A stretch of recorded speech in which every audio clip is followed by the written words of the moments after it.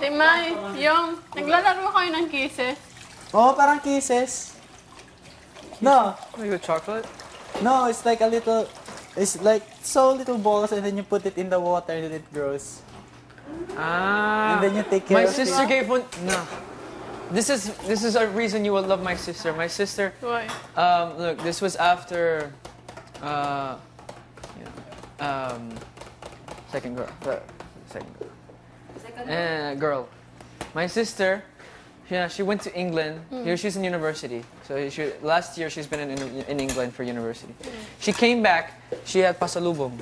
She gave me a small figure, like a small figurine. Ah, A girl, Oh, then you put it. a girl in a bikini. and he said, and the, the label was, grow your own girlfriend. Because you can't get one yourself. so it's like, Edward, put it in water, it's gonna grow. No. It grew, but the thing is, I put it in a glass.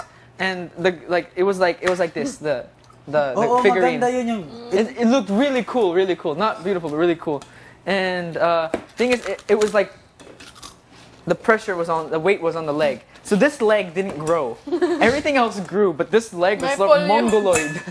it was like shriveled and tiny, while the rest was big. Uy, I had one like those before and I had to put it in a, ano, in a palanggana. Because it grew so big. Hmm.